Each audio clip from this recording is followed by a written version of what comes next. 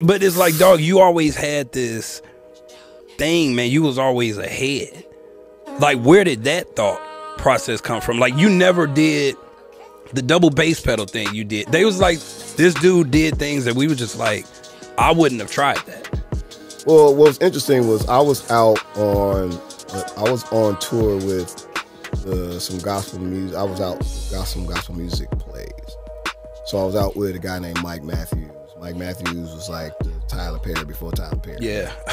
so I was doing these plays, and before I went and did those plays, Oscar Seaton saw me play and was like, "Yo, I like your plan, but I'm gonna work with you some more.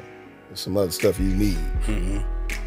So he would take me to his basement and whoop up on me. So he, he taught me how to play in different time signatures. He taught me jazz. We played double bass pedal stuff. You know, he taught me how to, you know, my phrasing and and playing across the bar line, all these different things that I never had, had a concept. I never was. I never knew it was a concept. Never knew it was a thing. And he he he he gave me a lot of um, understanding to what I was playing, gotcha. and also introduced me to new things.